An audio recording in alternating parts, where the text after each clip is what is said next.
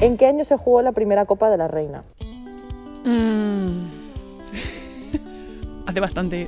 Yo digo 1990. Yo en los 80 o incluso menos. 80, 1980. ¡Antes! Vale, 1950 y algo. ¿Menos? En el año 3 después de Cristo. no sé. 44. 42. 43.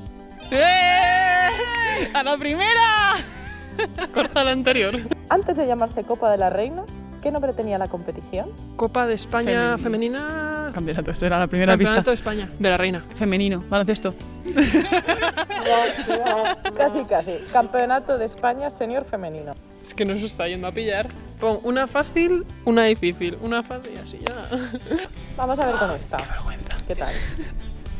¿Cuántas Copas de la Reina ha vivido la Fonteta? Esta es la segunda. Ah, claro, ¿no? El Ross y todo eso. O sea, el, ro el Ross cuenta.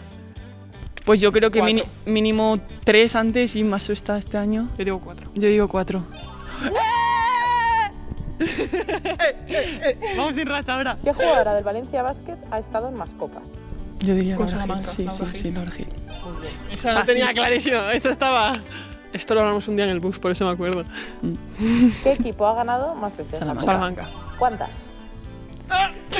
Diez. Joder, Mm, ¿sí? Nueve o diez habrá ganado, Diez. ¿eh? Diez. Te has pasado. Nueve. Nueve, nueve, nueve. Ah, yo lo había dicho, yo había dicho.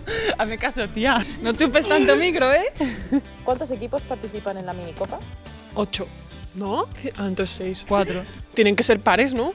Ah, siete. Nueve. Eh, once, tía. ¿Once? Quince. ¡Eh!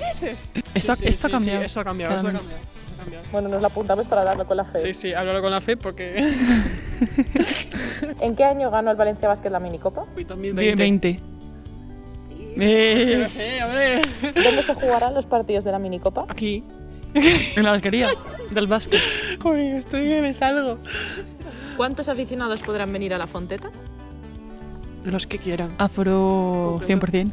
8.000. ¿Justos? ¿Quién es la jugadora que más partidos ha jugado en la historia de la Copa? Laia Palau. La ya parado. Ante la duda, Laia Palau. ¿Quién es la jugadora con más puntos anotados en la historia de la Copa? Amaya Valdemoro. Me da miedo. Vamos ¿Cuál de las dos TikTok. es la reina de la pista en TikTok? ¿Viste? Hacemos una hora.